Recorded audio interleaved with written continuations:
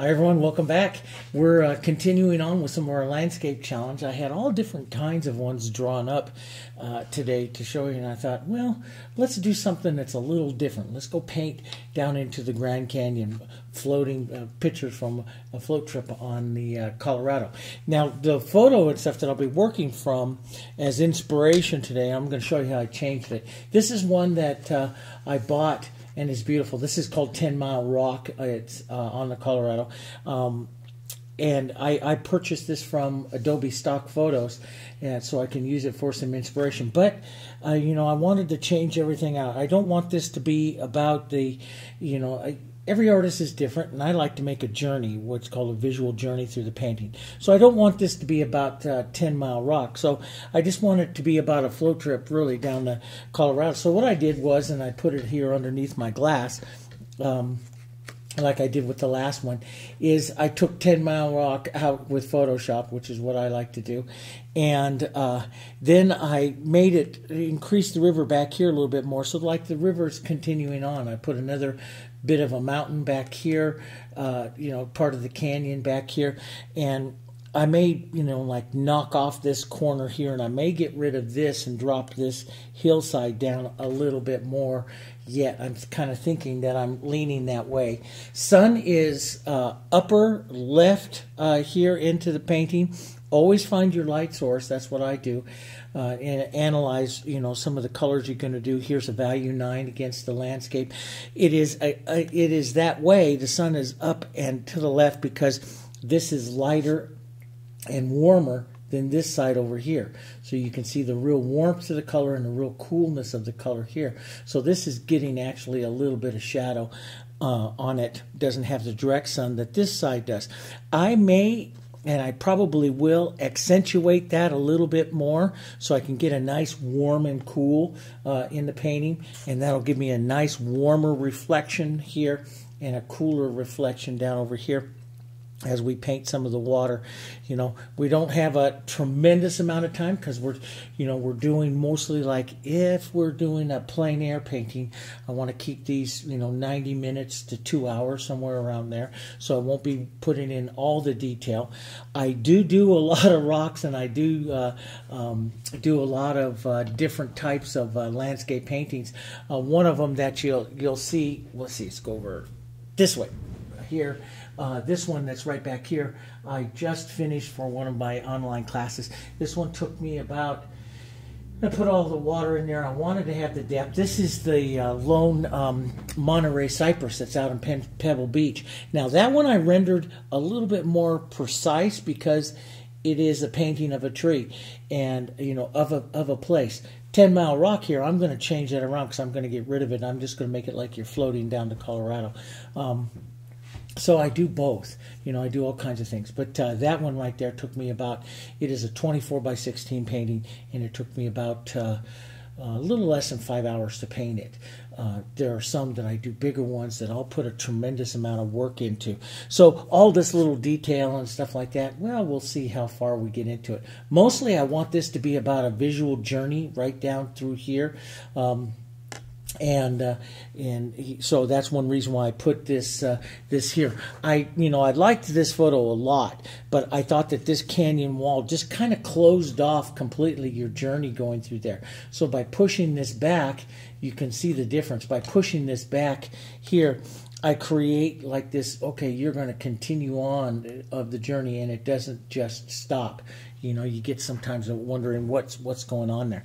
So uh, here onto um, the board, this is a regular 11 by 14 board that I have here. I just started to sketch on. Uh, I took it, the uh, the painting here, and you can see the corner of it up here. I took it right up to and printed it out onto my laser printer and uh, up to the 11 by 14 here and then all I do is uh, what I was doing here as I was just starting to sketch this right now is I drop in marks like uh, you know I use my square like here and you know sometimes if I want to get a more accurate representation of it here you know and then so then I know my shoreline is going to come right back down here along this point there like that. So I get that nice angled shoreline and there'll be some rocks and stuff up here. Um, you know, I'll I'll want to uh, come up and take a look at. But this is a is a great reference tool. So I I marked my center journey, which is right there, and um, you know from this point I can come up. You know I can come up. I'm going to start out right about here. I don't, you know, I just use it to help me reference sometimes, and um, so I'm going to start that angled here. Now, this is one thing that I was thinking about doing is eliminating down this side. So on this side here, it's quite it's quite a big angle and quite a big wedge. I might want to give just a little more drop and maybe an extra little angle here to this side of the uh, of that um, part of the canyon wall there coming down. And like I say get maybe get rid of that extra little one that's over there.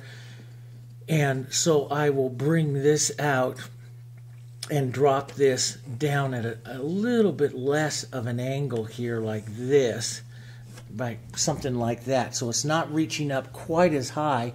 That levels that V down just a bit. And, and you know every artist is different. We're all different and you know how we want to uh, you know to draw our journeys and stuff. So I'm just going to set that one in like that and set this other one crossing right back into here. So that will get them a maybe a little bit more of a height difference there. And this one could come up a couple times. This, yeah, so it's going to set my canyon walls in there. And um, then the water will come in on this side back down over here. So then I'll just angle that. And I do like a little bit of a break and like a like a rock's going to come out there and then that's going to come right back there like that. So that sets up and it's you can see right there with that all together that sets up that really nice um, um, line.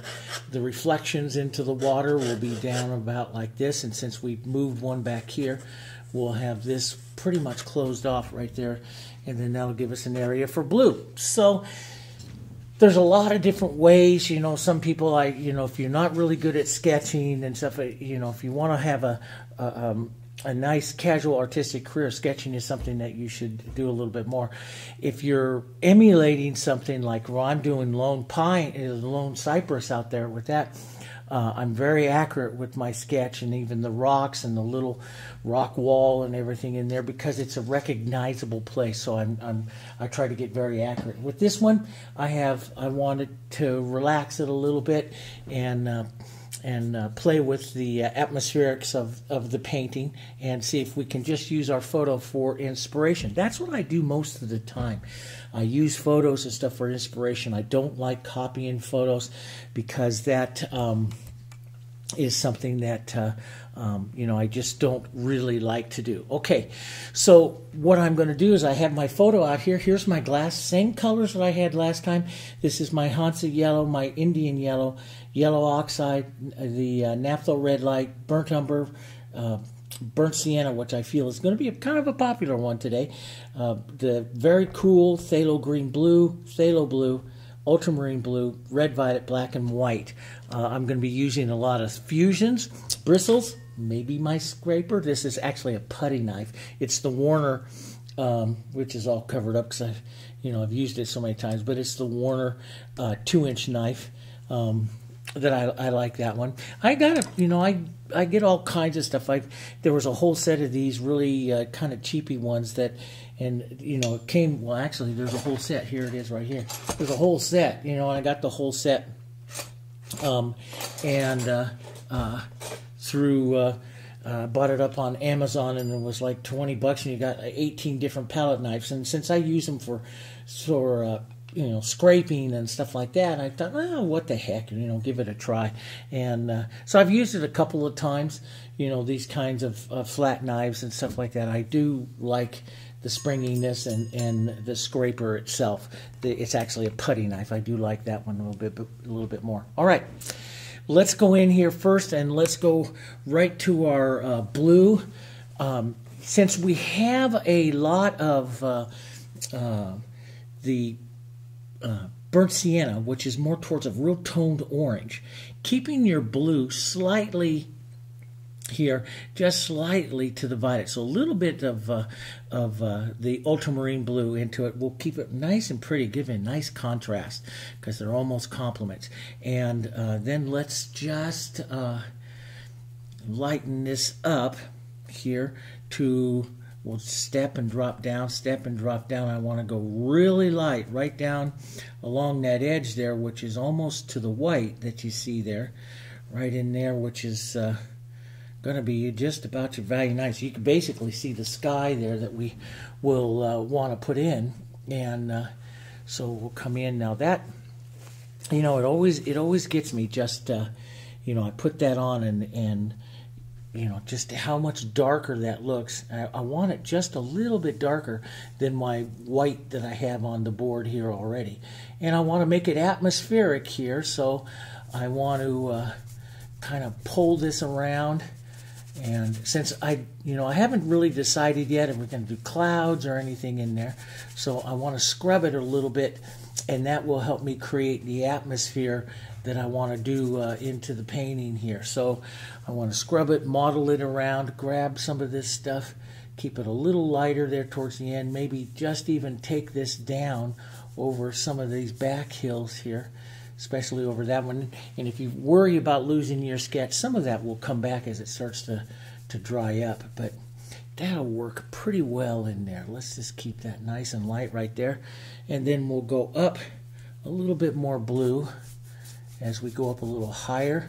I go right right into my rocks a bit and that'll keep a nice uh, kind of a blue but I like the atmosphere from working and scrubbing your brush in many different directions. This is my fusion brush, three quarter inch, and uh, just working that in there. Sometimes I hit it with a paper towel. I want to concentrate on using a little more paint. I want this painting to be nice and thick and rich in color, so I want to use a lot of paint today as we as we work this. Let's get that nice light really get that light right against that edge. And so, a nice misty atmosphere, lots of paint. You know, this is one of the things that, um, you know, I, I read all different kinds of uh, philosophies and stuff, and one of them that, you know, I've told you about is the masters always said that younger painters just never use enough paint. So that's one of the things that I always like to do is just like get that paint on there. Let's get that let's get enough paint going in there. Now, let's set up an undertone.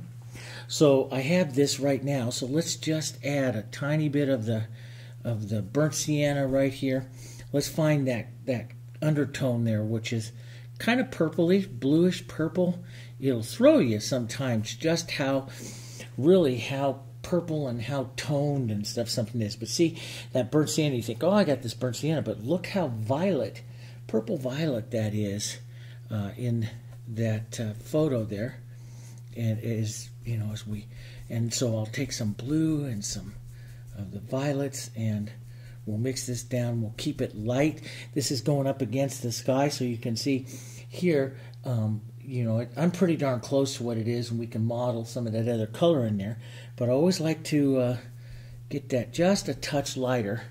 And let's just come in and just pull down, leave this kind of streaky through here like this. And so you've we've kind of found that tone that I want to use in there. And, uh, you know, you can break that up. You can tap into a little more sienna blue kind of color. Don't get it too dark. You want to keep everything here really light. We can pull up a bit and add some of that uh, atmospheric, you know, look to it here. Uh, but get break it up just a bit so you get some movement to that canyon wall there, to that side of it there. So we have just a bit of that, that type of movement. Let's atmosphere that just a bit more over here on that side, right up against that edge there. And uh, that'll be kind of good. That's just a nice look. That gives us our first look at it. And of course, we can paint it again, but look how light that is. That's you're like value 8 and 9.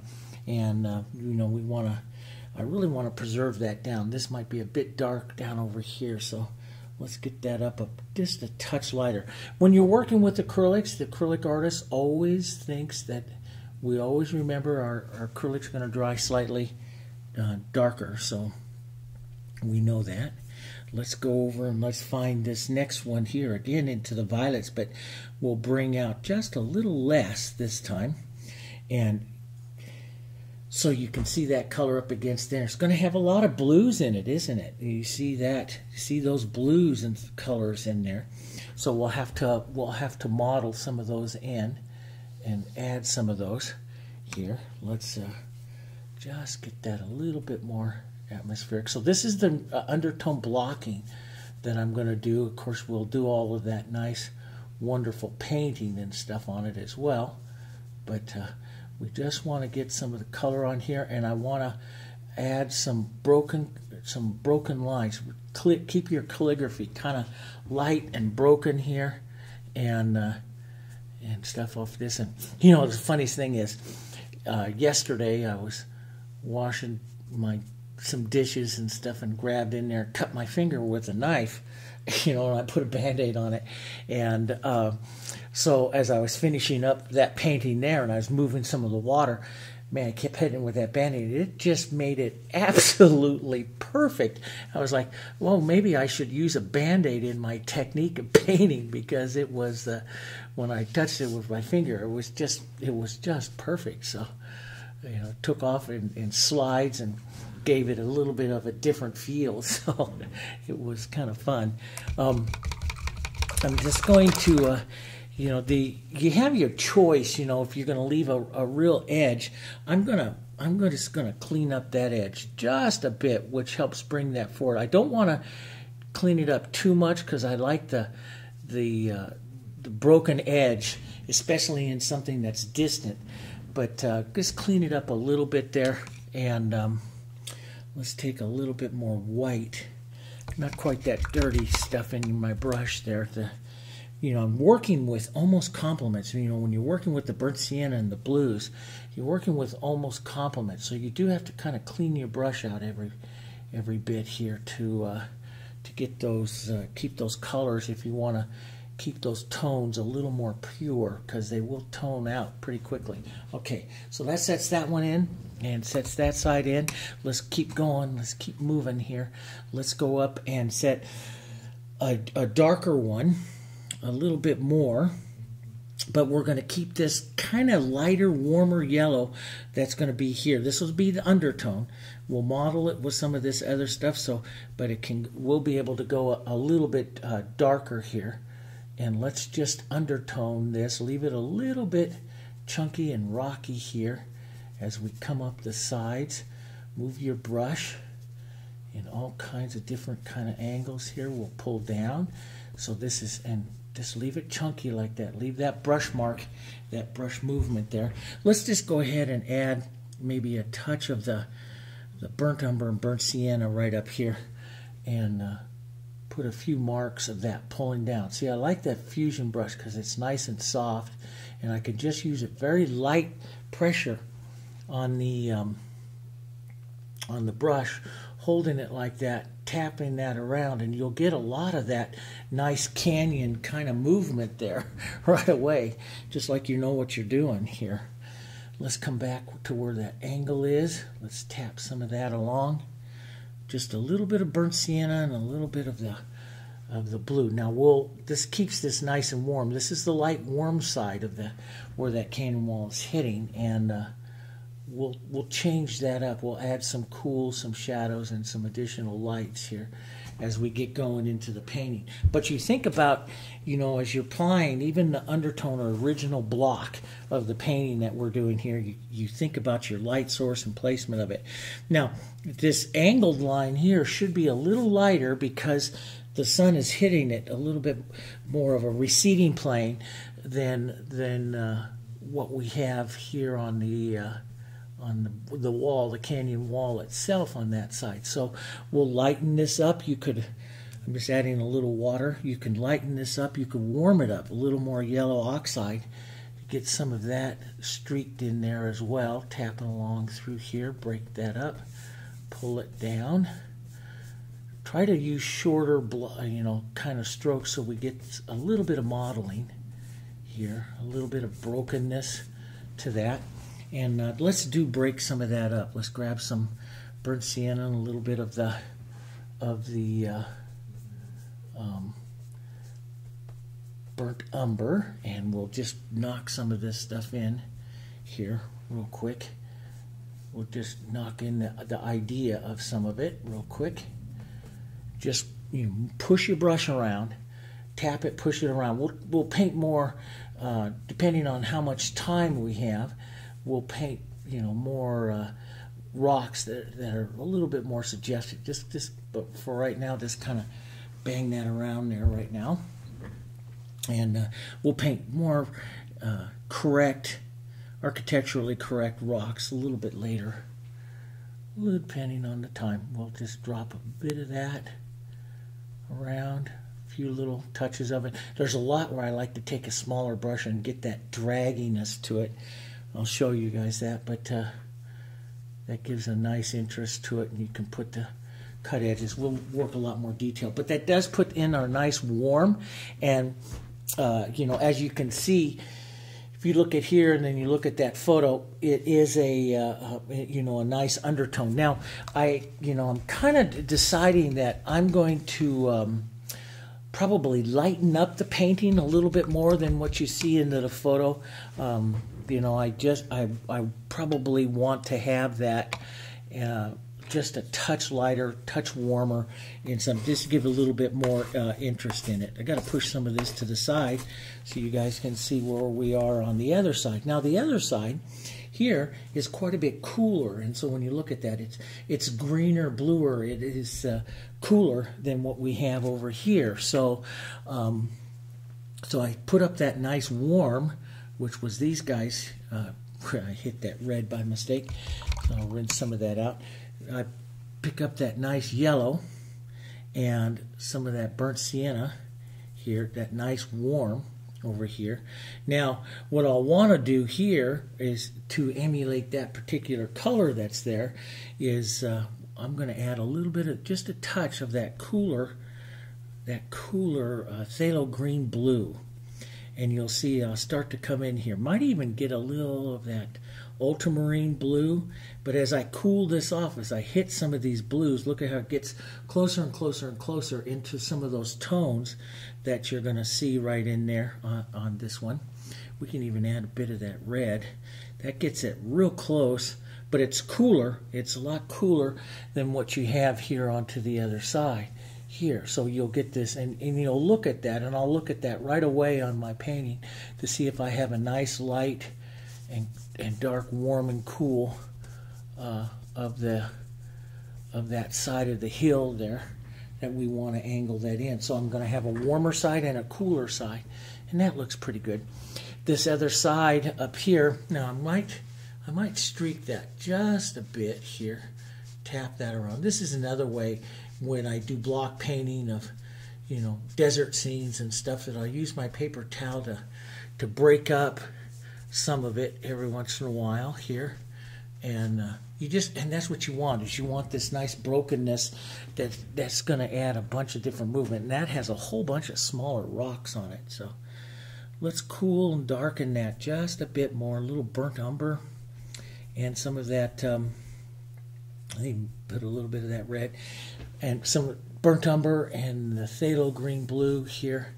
Let's add just a touch of water into that. And uh, we'll pull some of the verticals here stick that up here.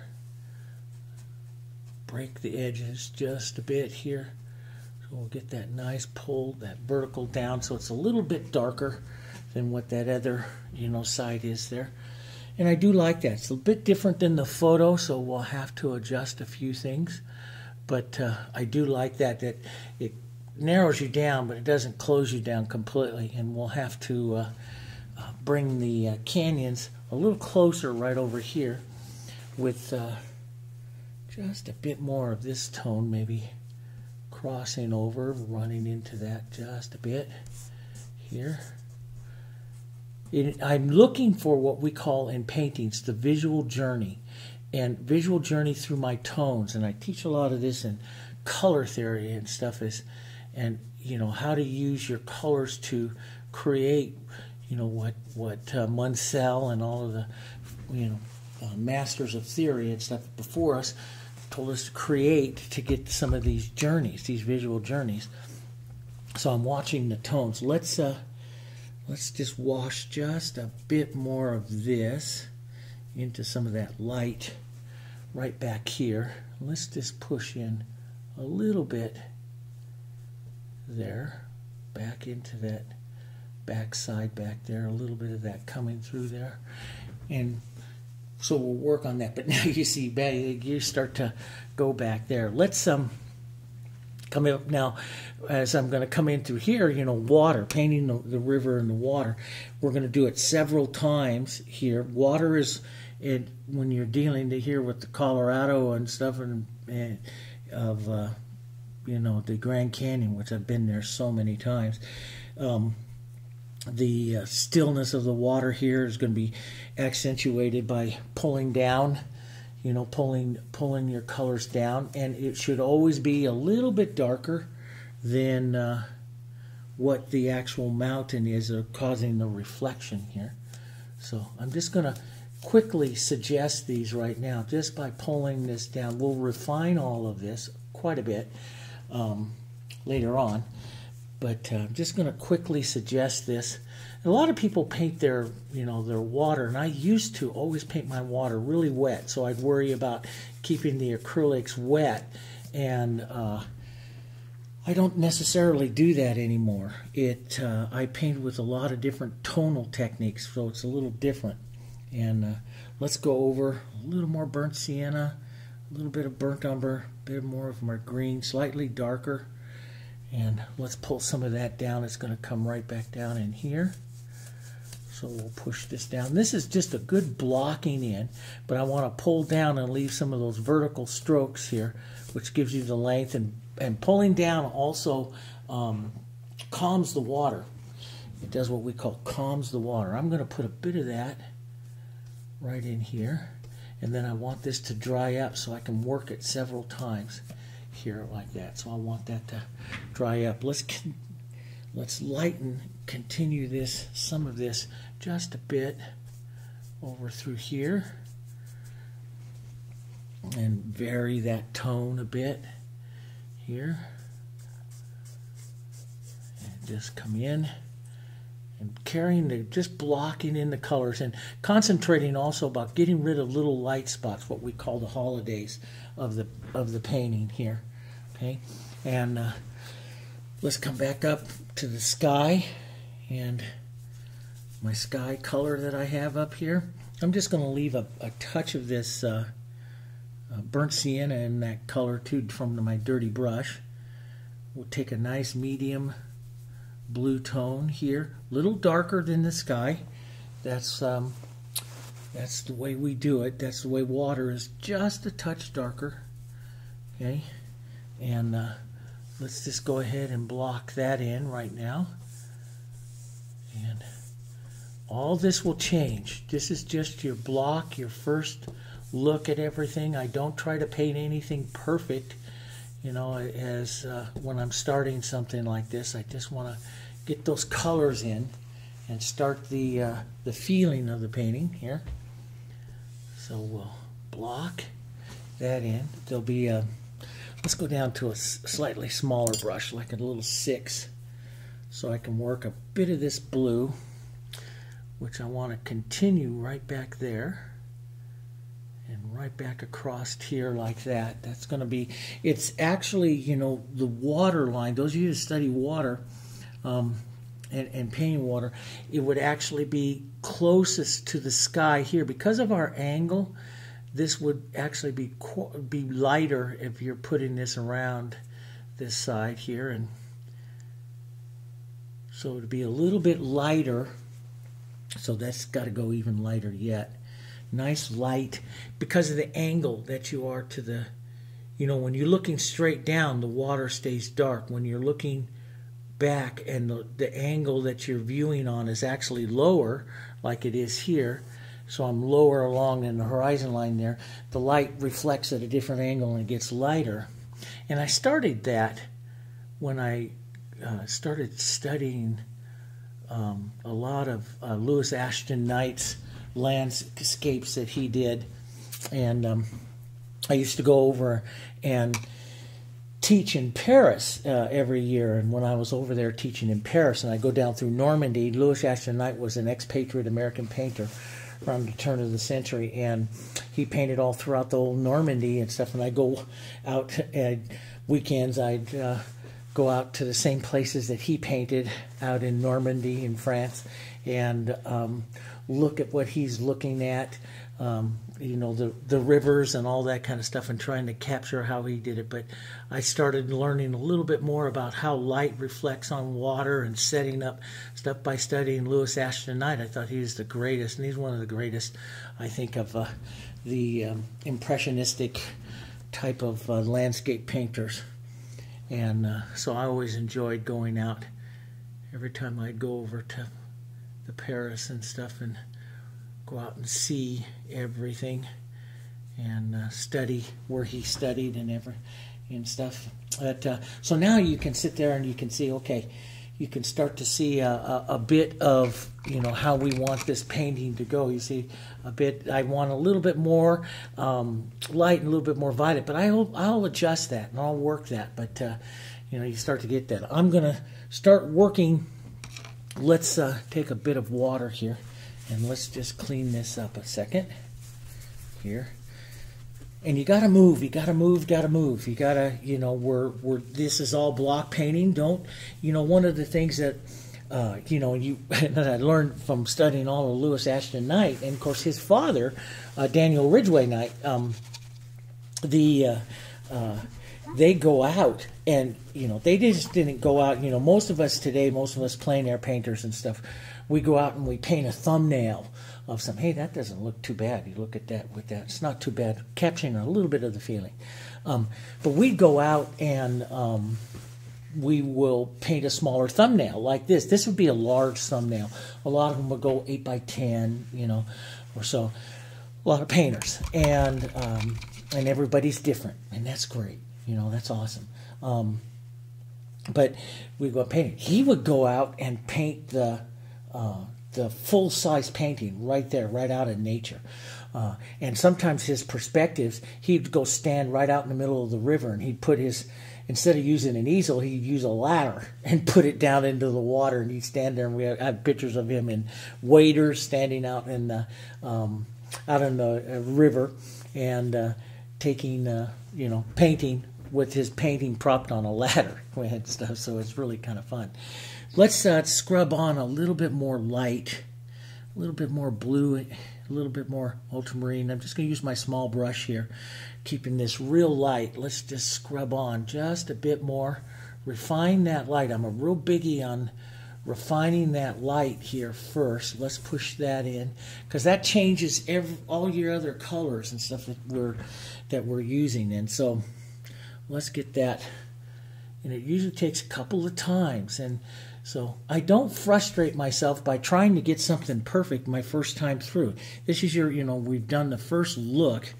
You know, if I want to change the sky, add a little more violety kind of blue, I'll, I'll reach over and grab some more ultramarine blue. But I want to keep that, this nice, uh, you know, perspective to the horizon, this lighten up of the atmospheric perspective to that horizon. And look at the, this is where we're going to get our ultimate depth, right here between this one and this one here. Um, and it's what happens over there in that photo there too. So if I move that over a little bit, you get a tremendous amount of perspective there by leaving that light in that one right there. So we want to make sure, maybe I can leave that right here as we start to paint that.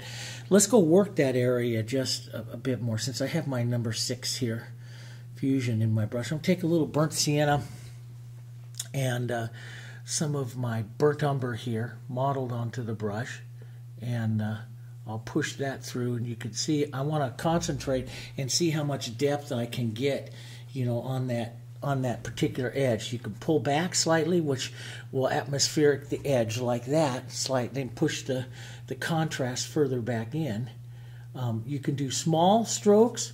We can, there's a bunch of ways that we can come in and address this. If this is really, really coming forward, you know, the other way to address it is to reach up here. Let's grab some of our, a couple of our colors here and even model in some yellow. You can, I mean, these are, are great. If I don't have too much time, you come in there like that and lay down that your your your um, uh, scraper. Now look at what it does when you look at that area to that area there by modeling it up and scraping it down. It does some nice things, and so um, and gives you some nice, some quick, nice looks to it. And so we could come down here and put in that second little ridge line, that little, little broken line of, of color that's right in there like that. Um, you could use that to mark mark up areas, drop some things down, and uh, toss on a, a, bit more broken uh, rocks and colors and stuff up over here, uh, which we'll do more of, you know. But the scraper is really fantastic for a lot of things. Um, make sure you vary your colors. I'll add a little more uh, yellow oxide to this side because there's just a bit more yellow right up here. And I'll pop that in. And then there's some light tones in there too. But see, you get that nice modeling very quickly of that tone, which is, you know, a nice thing to do. So you can do those if you do, you know, if you're out and you don't have much time and you want to get something in real quick and just capture the tones, which is really what we should be doing, is just capturing the tones. I don't always like to come in there and work you know, with a small brush and, and, and put details in because that's more for the studio. You know, that's more for when you get back and you're in the studio. But capturing the, the look and the tones is one of the first things that we can do. There's a lighter tone in there. Let's just go grab some white. Let's lighten that up. It's right in here. You'll see that lighter tone in there, just a touch more. If I want to hit it perfect, remember I got to go just a touch lighter a bit more of the uh, burnt sienna and stuff. That's pretty darn good for hitting where we are right there. And I can take that and just drag that right across. See, that's why I like that little fusion. I can drag that right across and create that fractured edge that I see. And I hold it very flat and let the let the ferrule just drag right on the uh, the ferrule just drag right there onto that uh, onto the surface. So it's almost like scratching it just a bit. And that'll help you get some of these different looks. There's all kinds of ways though you know. That's the fun thing about what we do as as as artists and painters is you know get to see all and create different ways to create some of these effects and try to create them kind of quickly but uh, there's a light up there, and then there's a shadow pulling for it. You know, how much time do you have to put in that shadow? I don't know. But I might pull in just a bit of that broken line in there, like that. And, uh, you know, I'll look. Let me get that light off of that. And I'll look through here. There's a, It's slightly darker coming in on this side.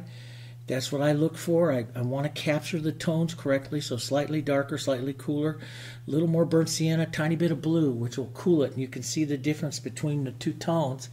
And then come over here onto this side. Let's push back that light. Let's push this in because it's out of the light a bit. And just drop in that, that impression of it right there. Okay. Capture the impressions of it. Capture the impressions of it. Just right in between the two, let's just pull down right in here a bit. Capture that vertical rise. Use your brush a little bit vertical. Not too many verticals. Don't get too verticals because too many, I mean, you want the, the verticals movements like this to cap, to get, you know, to get that lifting of the, of the painting, but, you know, you don't want to get too much because that that takes you vertically instead of back through your um, path, your your visual journey that we're setting. So I always watch that to what my path is here. Let's grab some of that nice light, some yellow oxide, burnt sienna. Look into for those tones that you have here. I'm a little yellow, a little bright. Um, you can instantly tone that with a little bit of blue. Always check that out. And that nice ultramarine blue is a nice one to use because it's a lot weaker than the actual blue. And that's a, that's a lot better, just a touch yellow. Um, but it's a lot weaker than the uh, blue. So it's a good blue to use for intoning and stuff like that. So let's just see where I am here. Yeah, that's, that's right in there. Now I want it a little bit lighter though, and maybe just a touch warmer so I know where I'm at here. Let's just use this, and there's all different kinds of ways. Lightly push this around like this, capturing some of that, you know, set up some of that nice movement here so that you set up that nice vertical, I mean that, that nice sliding movement here to this. There's a nice little ridge of rocks that I kind of like right there. So I'll kind of angle that just a bit like that. Break it up, tap it a bit, break some of that up. But leave, and this is where, you know, if I'm quickly doing something, capturing something, man, I'm going to leave some textures and stuff like that, especially if it's up here right along my visual path that I want to pull somebody in there. I'm going to I'm going to leave a lot of that. And let's put a few strokes of that right through here. Little cooler, I have just a touch more of that of uh, the uh, blue and stuff into that. So let's go our burnt siennas and a little bit of our brown. That's just a nice shadow color. If you want to cool that shadow anymore, you can add a touch of blue. Look at how much cooler that takes that color. So you can have a warmer shadow and slightly cooler shadow as we go into uh, work. I don't want to I don't want to spend a lot of time in here, but if you start putting in the, the correct planes of, with your brush, the pulling down and the angling plane, you can start to uh, really quickly create some little looks of rocks and stuff through here. Okay, grabbing some of that through. I'm not going to get all uh, wild and crazy about it, but take some out with some light here. So you'd have the light struck plane, the shadow plane pulling down the light struck plane here. Some medium planes here. Just kind of, I'm just going to emulate them. I'm not going to copy them. That'll take too much time out here for like that. So I'm just going to emulate some of their some of their movement. So you just pick out like, okay, there's a nice horizontal. Boom, boom. Go, you know, take a slightly lighter. It's a lighter little horizontal. You're just going to emulate it. So you're just going to come in there and say, okay, there's a lighter horizontal, which is a light struck plane, and then the vertical, more of a shadow plane. And you start to emulate where those rocks and stuff are going to be without spending a whole bunch of time, right? you want to go spend time, then you can. You know, and you do what I, you know, what I do, like when I did the uh, wrong way. When I do when I did this one here, and I do the rocks, you know, I started out the rocks the same way that we're doing here, and then I go back and I work them again and again. Uh, those rocks are worked about four or five times to put in broken color, other colors, other tones. My first, my first go through is my first impression of it, you know, of the paint. So here I'm going to use some vertical strokes to kind of emulate where a few of those rocks might be here along the plane. Here, I don't want to get too too much into it, but you know, it's the vertical here, a little bit of burnt umber, tiny bit of blue, get you a nice cooler one. And uh, we'll grab a, there'll be a few cooler, darker ones here. And uh, push them around a bit. Um, but, you know, you can see, boy, if you just take a little bit of time, you'd be able to emulate, you know, this, this side of this canyon pretty quick. Just looking for where its darks and its lights are you know and and you don't need to like copy everything but you look for some structures that are pretty nice. Like there's a nice vertical crevice right there that's going to come off of really this one that sits a little bit higher here. And if you just take the chisel of your brush and you just slide it a little bit you'll start to emulate that vertical crevice here and uh, take a little bit more blue with this move over and grab this other one. Sometimes I'll tap it a little bit to make it look like it's broken, you know, but you're painting pretty quick here. And grabbing a few of those. And so you'll get a, a nice impression of what that uh, is. And, you know, then after you get the impression, then you can go back and refine it. Let's just stutter our brush like this with just a little corner of that fusion. It's just so nice stutter it, and you'll get the broken feeling of all of those smaller little rocks and stuff that we have up here, which is uh, move over just a bit. And just little stabs and, and stuff. You don't want to get too many edges because you want this to recede here. So we'll just kind of stab at that a bit.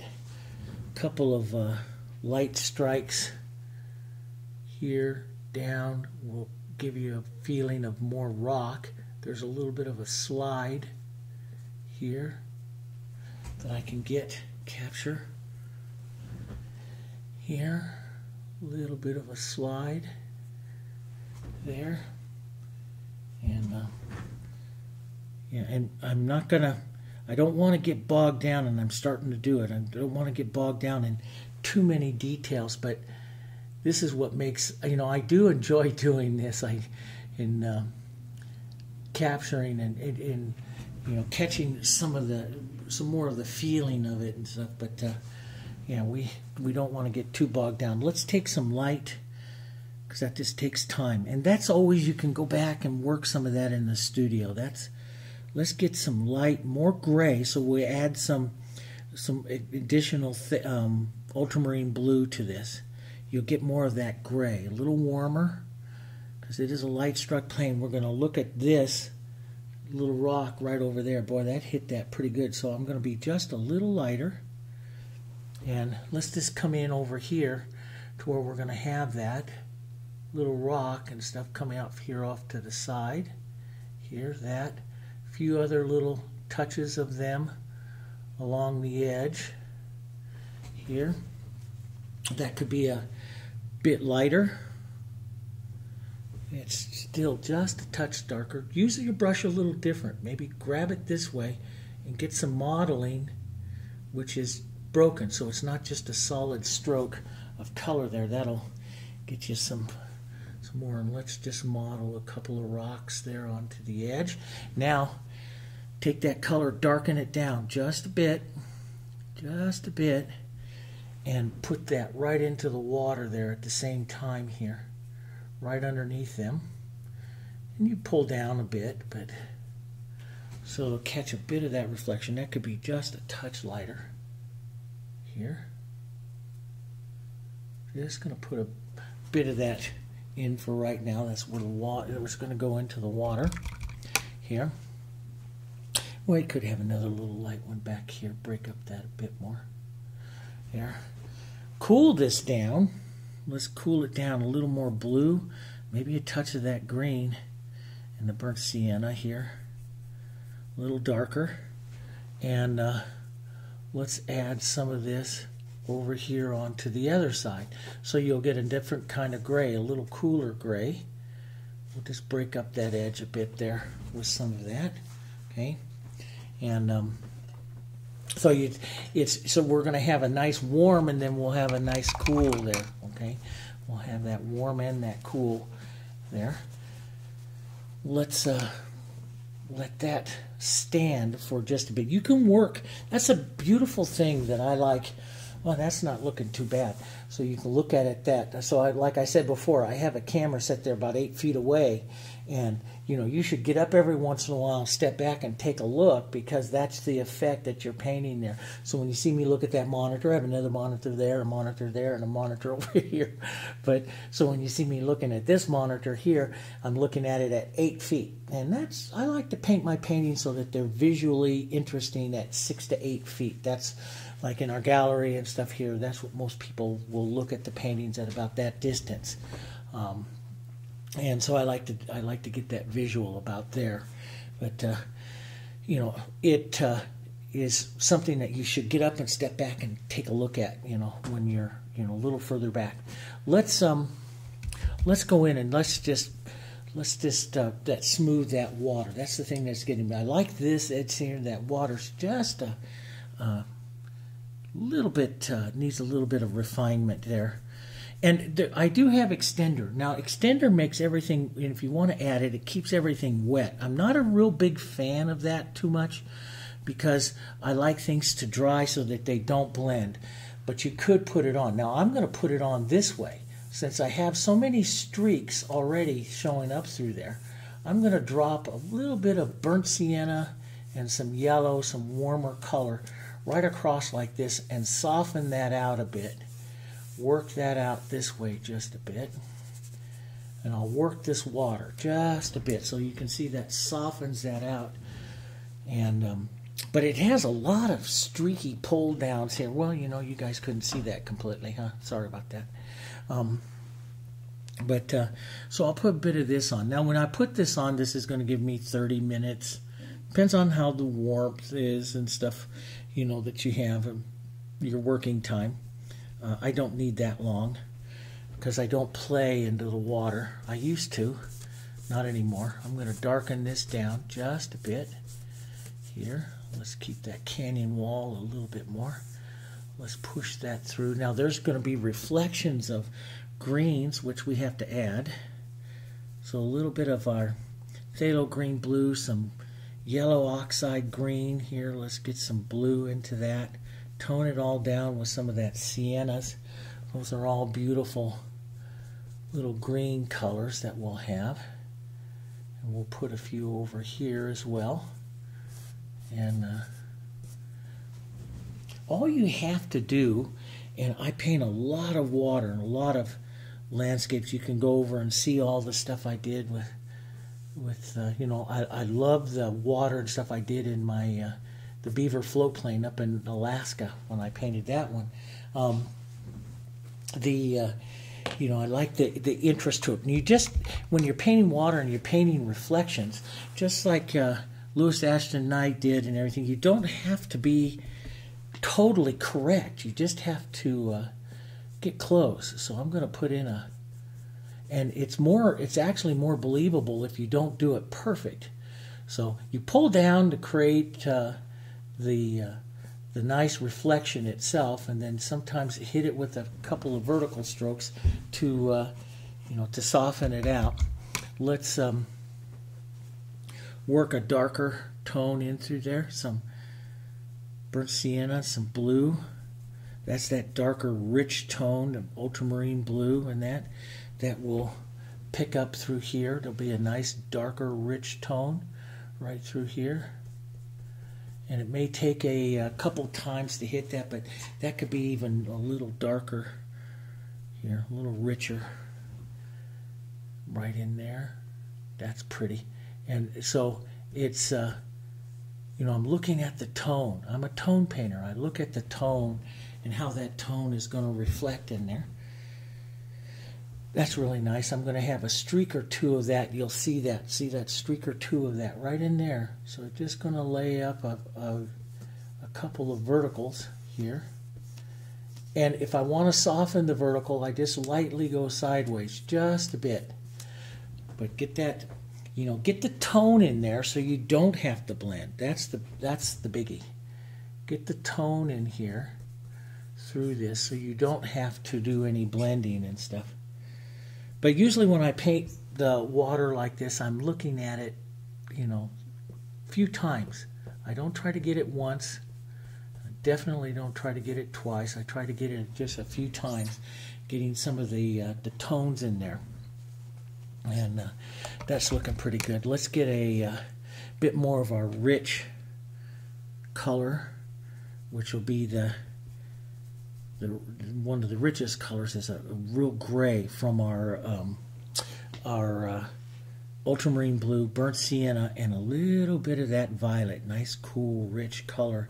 And you'll see that right in here. Do you see that right in there? That's that real rich color right in there. Dark, we're talking value 2 or so. Let's work some of that right in through here.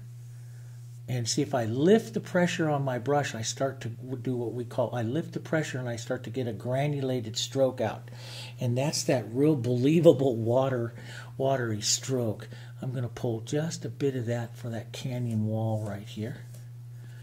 And you can blur that out slightly, but we're going to take a little bit more of a, uh, a little bit more blues and stuff over the tops of that. Let's pull up a bit of that dark through there like that. Blur that in. Pull that. That's nice pulled in. Let's pull down just a bit more. So I'm watching my strokes and my lifting and my pulling up and down here to get some of that nice effect. The tones, and you know, you see the tones in through there. So this uh, this tone has to come through. So you can see I'm not doing a lot of blending. I'm streaking the tone. I'm going to go, I want this to be very broken here, so I'm going to keep a light pressure on my brush. Let that fusion just do the job. See how it breaks the tone? Okay? So just light pressure. Let that just streak right across like that very light pressure then I don't destroy all the tone that's in there and you start to get that look of that tone that's right in there. So the fusion brushes are designed so that you use them really soft. You can use them soft or you can push stuff around. And I like to use them really soft in a lot of things. Um, let's go to a let's go to a smaller brush here for a minute. Find an old I like my old ones. My old ones work really, really well for me. Let's make this slightly different. I always like to change that tone a bit. Don't like to paint too long with the same color because then everything becomes the same. So I'm always changing. Always like that change. Here. Let's pull across here just a bit. We'll work the light back and forth across here for a minute. Okay. And okay, that's that's going good. I want to put a slightly warmer, lighter tone. I'm looking for that one right there, a bit of yellow in it. Let's pull that down right in through here. Pull that right down in there. Streak that across a bit. So you can see I can get that streak again, just pulling back down across it again here. And uh, you know, there's a lot of people that go in there with a soft mop or pull in there. I'm, I'm one that if you're having to mop something, you're using the wrong tone. Go adjust your tone. I'm going to pull this because I know it's going to darken down a bit. So I'm just going to pull a bit of that. I like that nice light, which I still got to come in there off that one hillside there and and uh, build it up a bit more. But uh, I like that light. There's some other nice lights not quite as warm. So we'll dock it down just a bit. Pull down just a touch here. Get a bit of that streak. See, it's a tone here, right in there. That's kind of nice. Now, my original blue is a little bit more green. Uh, so if you look at this, I'm wondering if I step um, step that camera back just a bit. You can get a little bit more both of them in. So my original tone here, when you see that, is a little bit more green. Here it's a little bit more violet. I do like a, a bit more of the violet tone in that. So a bit more of my blue, touch of that, of the ultramarine blue. If you want it to lean green, you're in phthalo. And uh, so that's too violet. So let's add a little phthalo to it here. And let's lighten that up just a bit here. It's always nice to have this one here. I'm going to be too violet, but I'm going to be pretty close, but I'm going to be just a touch too violet there. And that might not be too bad, though, if I am going to add a little water. If I going over my greenish kind of tone here already, here, it might not be too bad. That's pretty close. A little more uh, ultramarine blue, a little less of the, and touch lighter more ultramarine. Let's just streak that across. I like to lift right off the edge like that. See how you create that fractured edge? So I'll streak. I'm going to leave some of this other blue in there. I kind of like that. when I come up to do that edge, there's a couple ways. One's press down your brush and pull back, or two is come up like this and then and then fracture off fracture off the edge. Need a little more paint for that to fracture off the edge like that. Just lift off, pull off at that angle, and you'll get that fractury kind of edge that you see over there. And so to create this this this uh, broken edge there that's like that, what you do is you hold the, the brush here and you just pull back and forth very flat on the brush. And that breaks, let's break up that line that's right there. And see, that'll give you your fracturing to your water right there. You know, it was explained to me a lot, and I used study a lot of the masters, and it was like, you know, they they always say, you know, Sargent and stuff always says use your brush like a pencil and everything. And I started looking at all this stuff. It's like, yeah, you know, we got all these tools and instruments to do all these things. And uh, you know, how would you do this if this was a sketch? You'd have a pencil. You don't have, you know, 16 million different types of shapes of lead to do all this stuff. You learn it with pressure and with you know how you're approaching something the angle of your pencil for detail work or for general shading um, you know and so i got thinking well yeah that that does make kind of sense you know make, to make the thinner lines here we'll hold more of the chisel of the brush here and roll it to to put on a little bit more paint let's come back up in here sometimes to do more detail I'll hold the brush back but still, if you hold the brush way back, you keep the tip of it softer so you can fracture the paint a little bit. Let's put that light, and I'm going to need to lighten up this back edge back here again because I want that uh, I want that river back there a little more atmospheric, a little bit lighter. Let's push that in a little bit lighter. And Louis Ashton Knight was so good at doing that and always setting that in. It just sets that nice little bit of light back there. And I started doing that several years ago and really like it. Let's just use the angle, the edge, and just fracture.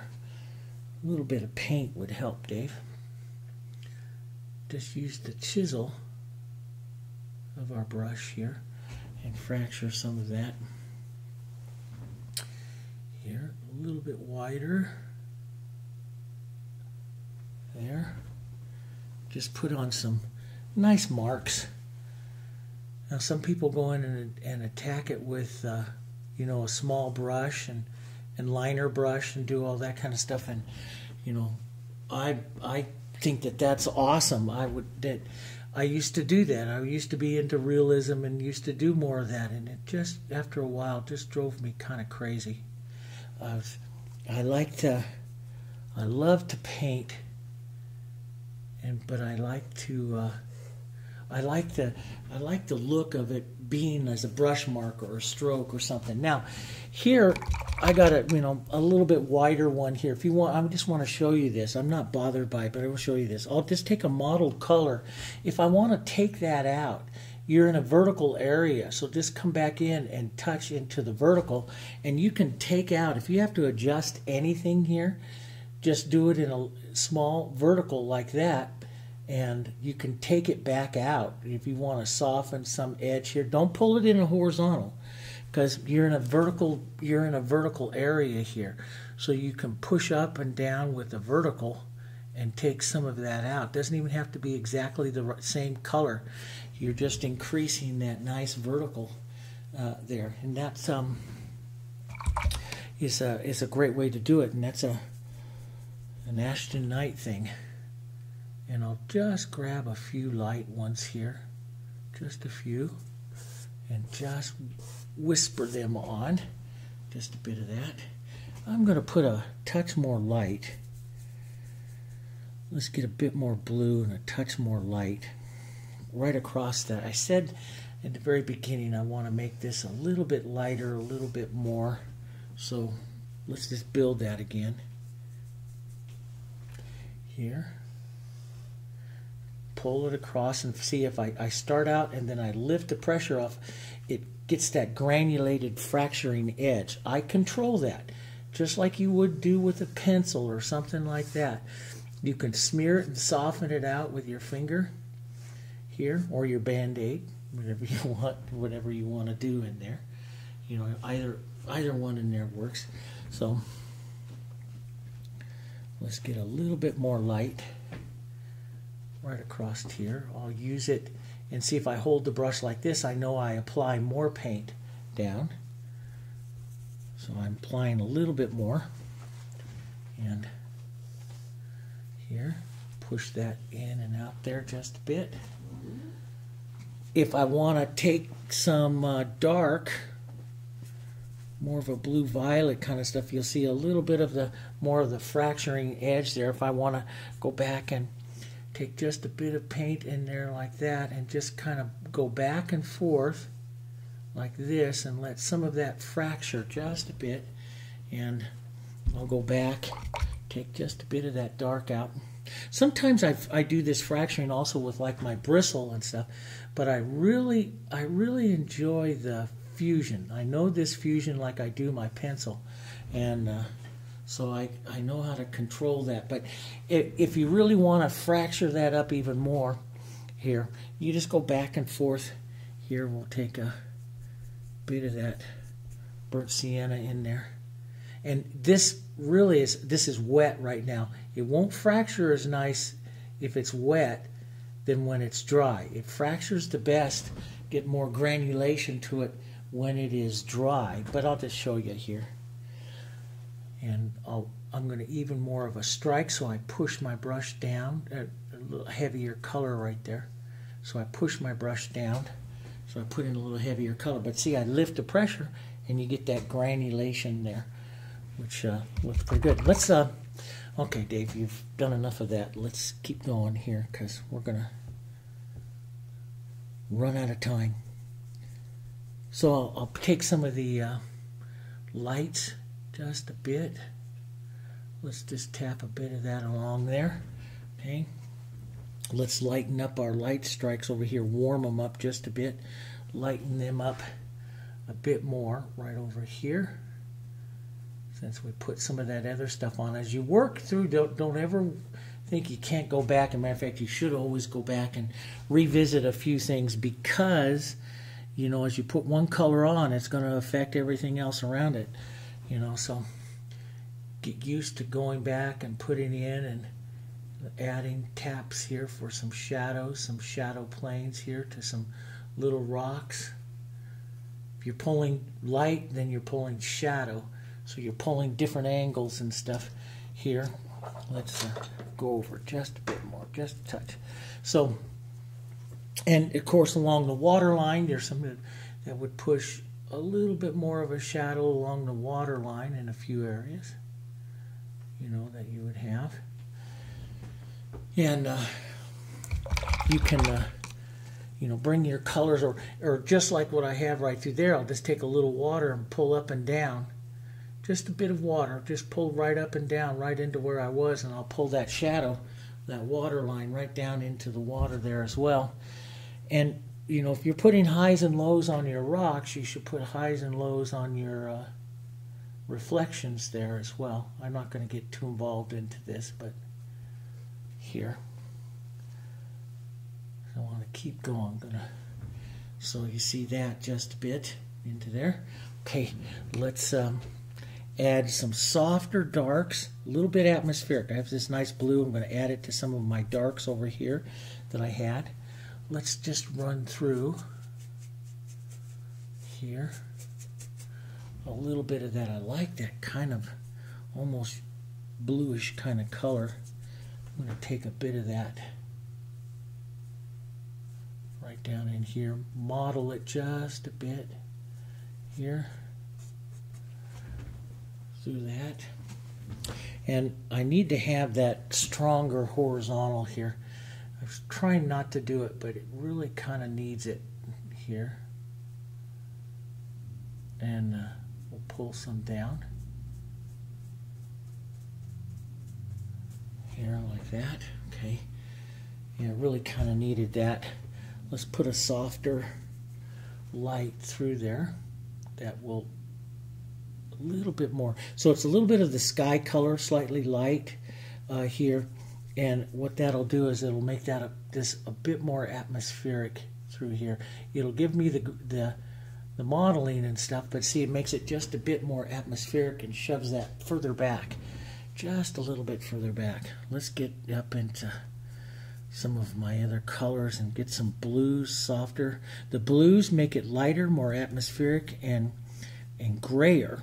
So, and that makes all nice colors for what we want to do here. Pull down slightly, step out, make it a little bit more of a angle there since that's nice. Here let's just break up some of that. Break up some of this. There's a nice little and I like it nice little horizontal on that top up there kind of light I think maybe I'll try to preserve that right up there because it's a nice look to the mountain, to that to that canyon wall there. And uh, let's go grab a few darker tones here. Just lift off, just up a bit. Get rid of a couple of those holidays. There, like that. Keeping them softer. And you can always... Um, always go back with a bit of your uh, atmosphere, your blues and stuff to soften, render some of that a little softer. Here, break that just a bit. I like the brokenness of the canyon walls and stuff there. Let's lighten that just a touch. Warm it just a bit of burnt sienna here. Pull down just a bit up and down sometimes, down. That'll create the, you know, it's not just, you know, it's not just a uh, flat brush thing of, of paint. You know, one of the things I like is right in here, the paint is kind of dry and stiff. Do you see that's not real wet and runny which means I have ultimate control over it in the painting here. See, I can lighten my pressure and fracture the edges like this, and that's what gives you all of this really nice kind of, let me zoom in just a bit here. That's what gives you all of this nice kind of modeling there with the, or you can use your, your Band-Aid, but that's what gives you this nice modeling there of that, uh, of those colors here because my colors are kind of stiff here and so I control by holding the brush more flat this nice fusion more flat I control how it's laying off of that brush here just like that. So get that nice different kind of you know kind of look there to that canyon. Now there's a little more dark up over here but I kind of like that. It could have a little more blue into it. Um, I could make it all just more atmospheric now just by taking a bit of my blue, thinning it out here.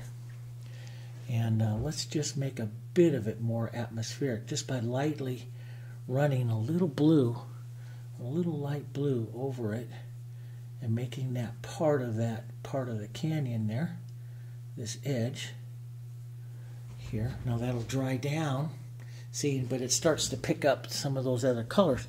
So it's all about, you know, everything that I do. A lot of people always just say, um, through you know, because I was a I was an oil painter for so long, and I loved them. I you know, there you go. Now you can see what the that starts to look like, and I loved him. I loved everything about him. and um, you know, if and uh, you know that but i paint so much faster and so much easier now because i don't blend i paint in tones and you're watching me make these tones and you know that's that's how i do it and it it works wonderful so those of you that can't because you know paint in oils and uh, anymore because of health issues or whatever boy the acrylics can really do it really nice because we can uh, you know, we can do the same types of things. We just do it differently. We don't try to make our acrylics, don't try to make your acrylics act like oils. Paint and tones, paint and tones. So what I'm doing here now is a little burnt sienna, a little bit of blue to keep that cooler, that grayer. I want to come over here and I want to cool and gray this side of this hill here. Push back just a bit of the those edges. Let's leave a little fracturing to that edge there. There's a little holiday right there. We'll push some of that in. So this side over here, I'm going to have a bit of light to it, a bit of yellow, a bit of, of light, but it's not going to be as light as this other side over here. So I want to come in, there's a, a bit of it, so I'll use it flat like this and just push. See the granulation? I'm using my paint kind of stiff. It's not real runny, so I get this nice granulation to it and that's what makes all the little surfaces of rocks and the the feeling of it. Let's um pull down like this is two little breaks here. So we'll just break that edge. Not that I want to do a lot over here. Sometimes I'll pull some horizontals there. Uh, let's put another little tone in there. In there like that. That's a little smooth for me here, so I'm just going to break that up a bit here. But uh, yeah, that'll work. Let's uh, drop this edge a bit more down. Now I I've got to uh, probably darken, cool and darken here. A little more blue, burnt umber, touch of that, so I can make this advance in front of that more atmospheric backside there. Let's just drop a bit of that in there so I get some of that cooler stuff there. Okay. And uh, just going to add a couple touches of that over to this side. Now let's go over, let's model burnt umber, blue, burnt sienna here just some darker colors. We'll just kind of model that in here. Just using the corner and rolling and pushing your brush to get some nice movements in there. There like that. So we'll push some of that in. And um, then we'll grab some of that and then with some more burnt sienna, touch of yellow, model it up here, lighten it up here. And put a bit of this in and just kind of scratch this through. Leave some of that original undertone there. There, going through. And to really get that to show forward, we really should put a bit more of a scratch of dark right along that edge there. Break that up. And show forward a bit more. And uh, yeah, this uh, get a bit of yellows in there, some greens and yellows, some lights. Kind of, I'm not going to get wild and crazy with doing all the rocks, but you could. You can see how you can. We're just kind of capturing what we're trying to do is just kind of capture that area, some of that that look of that area there. We'll step back just a bit more. Go over. Okay, just some of that area, that look. And of course, there's green bushes and stuff. We got to put those in. Stuff here. But uh, yeah, let's push just a bit of those colors into this canyon. Just a few of those. Bit of that interest. Darken this down. Just keep moving, keep moving, keep your decorations going. Let's uh, pull up and down here a bit. Nice shadow side of that. And yeah, I like everything I have here, but I, sure I sure could get a little bit lighter. Sure could get a bit lighter. And let's just add a few more little movements here. We forgot to uh, touch along burnt umber and blue, touch the shadows and little marks here onto our rocks onto the sides here as well on this side. So we could probably touch a few of those and probably go to a smaller brush. I'm painting all this with, this is like my six or eight. Probably go down to a smaller one. Let's get a little more gray. But I, you know, I'm a big advocate of Sargent, who always said, use as large a brush as possible for any given area, and that keeps that it keeps away from what we call repetitive strokes, and that's what we try to avoid as landscape painters.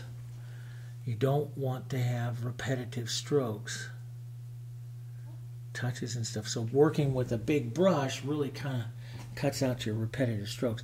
Um, you know, if I was back in, well, I am in the studio, but if I was, you know, out working and you know refine this into a studio painting, you know, you would definitely put more of your values and uh, and broken colors onto these rocks and stuff like that. But uh, you know, we're not there today, and I'm a little bit same same right here. I saw that's not really that great, so I'd probably break that up a bit with a few more little rocks touches, so it's not all the same. Then we'd have, since we put green in the water, we'd have to put these greens, these greens up here yellow. And you know, another really great green is your Hansa yellow and black. And adding that just makes wonderful greens. Nice rich, you know, pine type green colors. And you can see in the, the photo there, the light is really coming from the uh, coming from the left side, so you can see it quite clearly there. So I'm going to put a medium tone down. Let's warm this just a bit. Step over to the side here warm it just a bit and let's put a bit of that over here a few touches of that over here on this side there okay maybe just a touch of that over to the light side the left side here of this area here these guys do them quick do them quick and um, then we'll grab some of our blues, burnt umbers, drop it right down over here. And if you grab a lot of blue, sometimes it's great to grab that red, which grays that down. Look at the nice, deep, rich, dark that you create. That's a nice, because of the red, it's a little warmer, so that's a nice little shadow side, nice little shadow for this side over here. Little touch here and there. Just little touches of them through there on that side. And we'll cool it, just a touch of red violet into that. Deeper, little blue here. And uh, let's push some of that here onto this side, which would be right side of these guys, right along the edge of the water. You can touch a few little touches of those colors into the water there as well. It's kind of nice. And it's really kind of nice, Dave, if you kind of line your reflections up a bit, but there we go. That's a little better. So, you, you know, the viewer will pick that up as a reflection of that, you know. So, it's a good way. Put that one in. Go. Just drop a few of those in here. And, uh, that's nice. And let's go over and let's lighten. Warm it and lighten. This is kind of dried up. See, I don't like to work with it when it's too wet because the color will slide and not granulate and stay. So now it's uh, dried up a bit so I can come back and push my next bit of light in here leave some of those other undertones there. Push that around. If you want to get smaller, pebbly look to it and stuff, then uh, you can go to a smaller brush. Just watch out for repetitive strokes of doing the same thing too much, you know. So we'll add just a bit of this through this area here. That's not too bad. Um, and uh, probably just for the nice um, look, let me green this up a bit. Um, add a few slides, uh, longer pulling strokes of slides. I like that because that gives nice motion to it. So even if I don't see it in a photo, I usually add a few of them because I like the slides. And but if I'm emulating something perfectly, like you know, Ten Mile Rock or something like that, where this original photo came from, you know, maybe not, but you know, because you're you're trying to uh, paint what it is that you see there. So,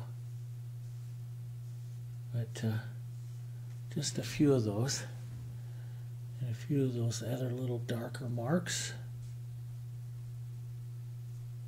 through there, like that. Now, so I have that, and I kind of like that. Maybe a, a pull. Let's do a horizontal because there is kind of a horizontal feel or angled feel there to that one. So a little bit of some angle to feels to that. See that kind of breaks up you know those those angles. I want to keep that side soft. I want to build this other side a bit more. So, and I really, and this is where I want the viewer to go, right in here. So this is really where I want to build up, where I want to do that today. And so I'm going to lighten up, warm up, yellow, burnt sienna, white, some of these grays, blues, different colors, tones here.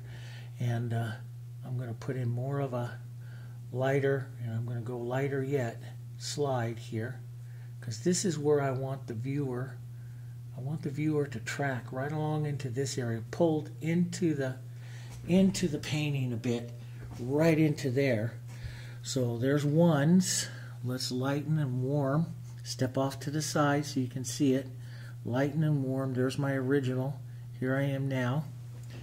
Let's take this. That's a little wet. It was a little wet in my brush. I don't want it wet because I want to. I want this to kind of drag a bit. So it's it's that's wet there, so I have to use even lighter pressure. It's wet. It's best if it dries slightly, but because I want this fracturing. See that fracturing that I get right there? Pushing that, I want that kind of fracturing that I get right there. And uh, let's pull this back like this and just set that in and fracture that up. There just a bit. Let's fracture right here from that rock up. Get a bit of that highlights fracturing there. That's good. Gives you a nice look. Let's uh,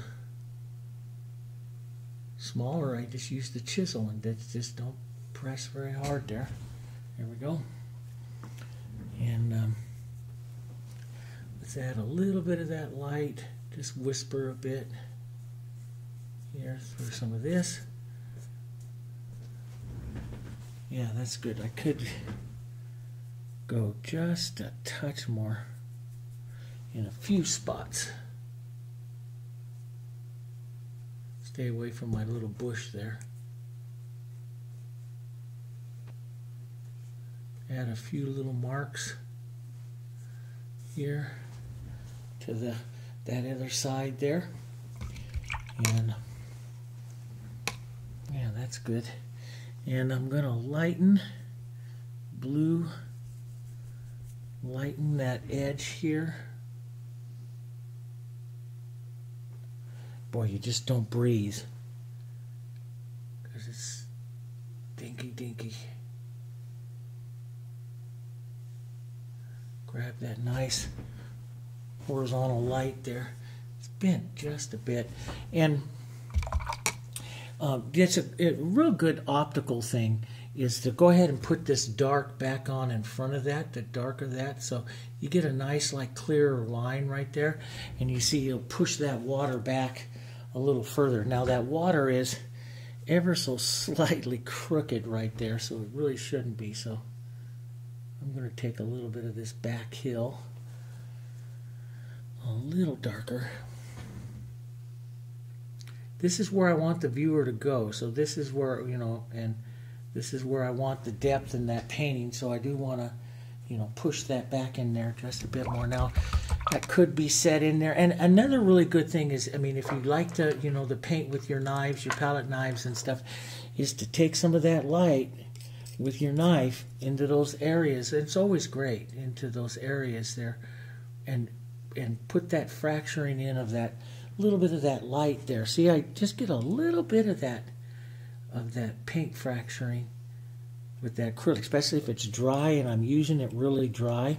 And sometimes you have to kind of push it and force it on in there, but uh, you get that fracturing and see that little bit of fracturing just adds that, and you can scratch it, just adds that extra little bit way back there that just pulls the viewer down in there. Now I can do that also, little different. So you know, going back and forth between your knife and the fusion and stuff is is great ways. I paint fastest with the fusion, faster with the fusion than I do with a knife. But a knife does nice things and get you some of that nice look.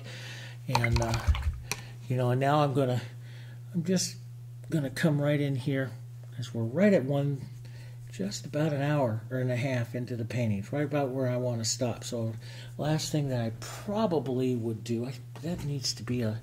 Sometimes they dry down. It could be just a touch lighter, but uh, is revisit this light right against this edge back here, and that's just boy. You know when you're working with that that looks kind of cool. you know, when you're working with that um, that dirty brush and you have and you're working with ultramarine blue which is very weak pigment and uh, you're putting this light on. If you have just a touch of that burnt sienna in that brush boy it tones that down and grays it down. I want to keep this real real light. So lots of white and just a tiny bit of the ultramarine blue. And that's saying a lot because ultramarine blue is very weak. So just almost white here that I want to push right against that edge. It gives me a good atmosphere right here. That gives me good depth. I can break that edge of that little hill right there a bit, right in there, and uh, work that up here just a bit higher. And then let it start to atmosphere off. Break this up, fracture a bit. Fracture it to the sky since we have fracturing in our in our hills and stuff like that, fracturing up into the sky is a good painterly thing to do. Take a touch of that light that you had there. And don't breathe, but touch it back through there. Now let's go just a touch more blue. And we'll push the final up here into the front.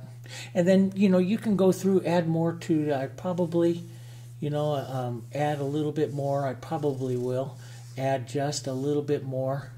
Um, yeah, that's a better light right up there.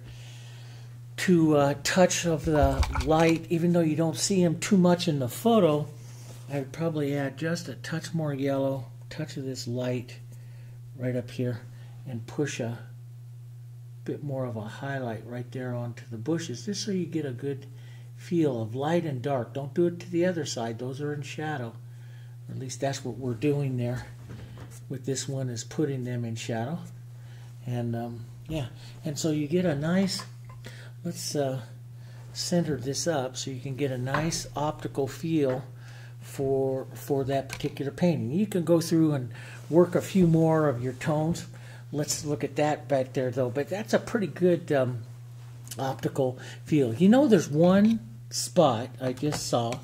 And of course, you know, I'll probably stop here and then see a few other areas that I might want to change a bit. But it's right here. It's too much of an angle. Uh, I do like that word dips down just a bit. So I'll just take a bit of my blue and and and touch over that, and then I'll show you how you how you hide that from you doing that. So I'll take a touch of my blue. Doesn't even have to be exactly the same. I'm going to touch into that and then I'll model it a little different touch into it again here. And let's just grab a bit of that lighter phthalo and touch into that here. Touch along that edge. I do like that. It's got to go just a touch lighter. But I want to break this edge down here round that down so it's not quite that much of a point right there. See, that's a little better. Breaks that, kind of rounds that down. And then let's just scrub that out into the painting. Even a little water here. And boy, just a tiny bit of that burnt sand in my brush. That's kind of pretty up here. And through there, a little water into the, some of this. A little bit of that sienna in there is kind of nice. Um, and that's a little weak right up there at the very top. I just saw that, so you know, here I go starting to find a few areas that should change, but I'm just going to pick up a little bit more blue here and a little more ultramarine, more blue right up at the very top up here. And uh, yeah, let's go more ultramarine. Fun. It's fun. It's fun to do this and uh, keep it kind of keep your give yourself a time limit so you keep working so you don't you know it's very easy to start getting a bunch of rocks in here to get lost into the rocks and uh, you know start over painting stuff that you really shouldn't be that you really shouldn't be doing up there you know. Now how do you soften all of that other kind of stuff out? Um, just rinse out your brush okay? You're an acrylic artist. What's your solvent? Water what helps move things. Just like you're an oil artist, you thin out to move stuff. We thin out with water and we'll move through just like this and we'll create that nice optical sky here. Don't think you have to blend. You don't. Use your solvent. Use your solvent. Work that right up into that edge there. Kind of like that little light edge there. And uh, work that right up into it break up this edge a bit, make it a little more atmospheric there. Work that right down into there. That's nice. Get that nice modeling sky going all through that. That looks pretty nice. Just like that. And then look at it optically there, see if you like it. I could streak that light up. You know, if you leave any kinds of, uh, any kind, any kinds of, any kind of, uh, lighter streak through something like this, you give a little bit more linear perspective, which is a good thing. Those of you studying perspective, yeah, perspective is so important. Get that nice linear perspective through there, like that, and that uh, helps you get a lot of stuff. That's good. That that works. Look at that. Yeah, that that works optically. I mean, it's a painting when you paint that rough, it's a painting made, you know, like this. It's made to step back. When you step back from that, it looks um, pretty good. We'll pull this over so you can see both of them there. Close. We've changed it, changed the line and stuff a little bit, but came pretty darn close. Not bad for just a little over an hour and a half. Okay. Hope you enjoyed it. Next time we're going to be painting. I found I've got this beautiful lake um, it's right in the fall, and it's a nice little grassy field, a nice little beginning of snow on these mountains in the back, and some fall trees. We're going to do that one, okay? So I was kind of like, do do this one and do that one. Well, let's do this one, and we'll do the the fall one next time. So I'll see you next week. We'll do the fall one. You know, keep those brushes moving. You all of you, stay safe out there. Thanks ever so much for joining me. Hope you had a good time. And acrylics, they really do work. Okay, I'll see you later.